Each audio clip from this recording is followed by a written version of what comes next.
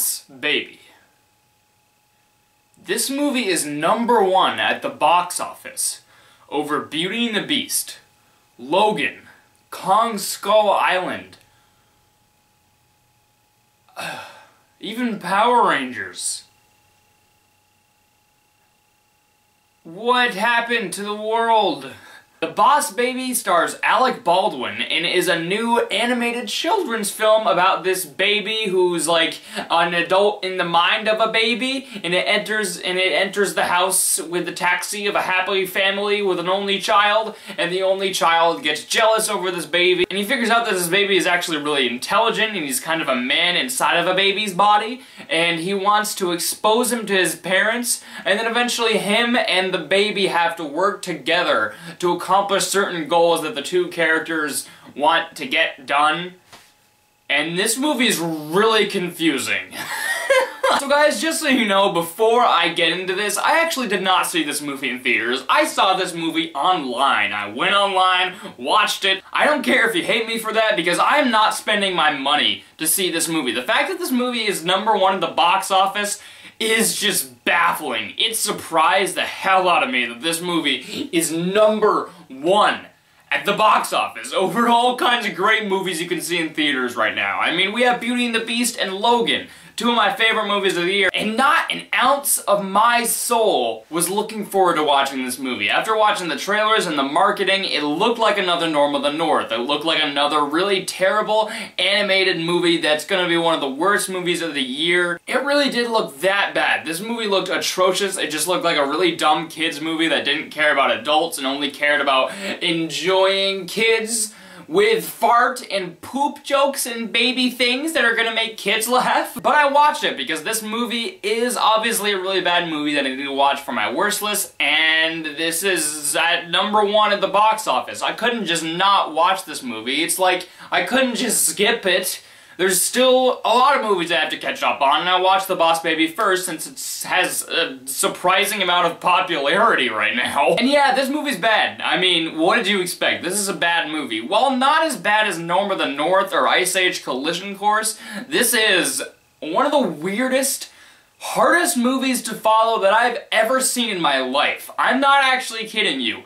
It's so hard to follow, actually. Let's start with the positives first, because there are a few. There are a few good things about this movie. I think my main pro with this movie is how they portray a kid moving into a house, and then they, how they portray the older kid's reaction to this, because that, that obviously happens with older and younger brothers. The older kid gets sort of upset that they have a new brother, and he sort of gets jealous, and he thinks his parents aren't gonna love him anymore because the other kid's getting so much attention.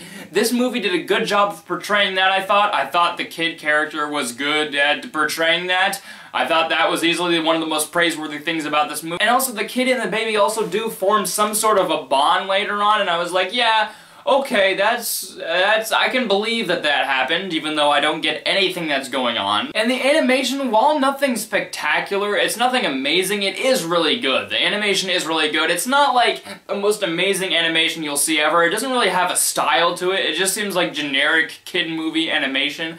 But they do do a good job with the animation, especially with the scenes involving the kid's imagination. Those scenes are visually stunning. But that's basically it. The Boss Baby is just an extremely nonsensical movie about poop and pee, and it's only suited for kids. And if you're fine with that, if you like to take your kids to a movie that's not gonna challenge them, that's not gonna impact them or give them a good message, Go ahead and show them the Boss Baby. I mean, you could show them the Lego Batman movie, which came out earlier this year. That's a kid's movie, and that movie actually has smart things in it, and it has a very good message. It has very good themes to it. The Boss Baby has none of that. And your excuse for that could be, hey, a kid's movie isn't supposed to have any deep adult themes in it. I highly disagree. I think that a kid's movie should be put in as much effort into it as adult films. Films like Zootopia, Kubo and the Two Strings, Inside Out have all kinds of adult themes in there that adults can enjoy in the movie too.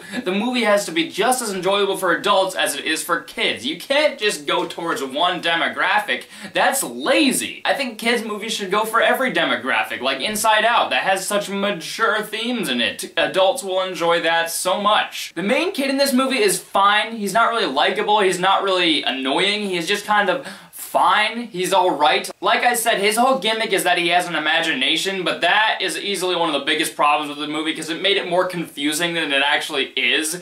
Because the whole movie has such ridiculous things that make no sense. And then there's also scenes where the kid is having his imagination and you can't tell the difference because it's so nonsensical. And there are scenes where it's like portraying the kid's imagination that are nonsensical and then in real life everything is nonsensical. So what was the point of the kid having the imagination thing in the first place? Because everything is just nonsensical. You can't really tell the difference. You can't really tell the difference between the kid's imagination and the actual stuff that's going on.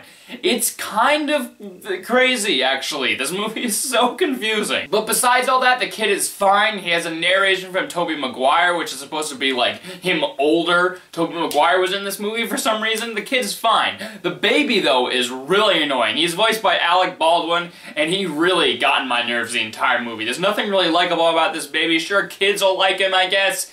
But I don't. I don't think this guy is funny. He's annoying. None of the humor in this movie really hits. There's a few little chuckles in there, but for the majority of the movie, it's just a really annoying movie. Just about babies and crazy things happening and poop and pee, and it's just jokes that no adults will like and they'll just find annoying. The humor in this movie, nothing works. Even the adult jokes in this movie really weren't that funny. There was nothing clever about them. They were just like, oh hey, you referenced balls. Good for you! Like I said, this movie is so hard to follow. Constantly while watching this movie and the stuff that unfolds, I couldn't try to put together what the plot is. And I was like, this is a kid's movie, right? Why is this movie so confusing? I mean, this is from the eyes of a guy who's 17, almost entering his adulthood. I'm, a, I'm still a teenager, but I'm entering my adulthood very soon, and I was confused with this movie. It's more confusing than movies like Zoolander 2 are. Kids won't care about the plot, they won't think about it because their frontal lobes aren't developed yet. They'll just sit there going, oh, a baby pooped. Oh, there's stuff happening, nothing makes sense. But who cares, because babies. Whee! But for us adults, we're not gonna get anything that's going on. It's just gonna be a boring mess of a movie that's annoying and hard to sit through. I'm gonna give The Boss Baby a D. It's not the worst thing ever, but it's it's really bad. It's There's nothing really special about this movie. It's just a really dumb movie that's really really hard to follow. Surprisingly, it's really hard to pay attention to. Right guys, if you like my review of The Boss Baby, be sure to subscribe, be sure to follow me on Twitter and Instagram, and be sure to check out all the rest of my videos when they come out. Hooray! I will see you next time. Bye-bye.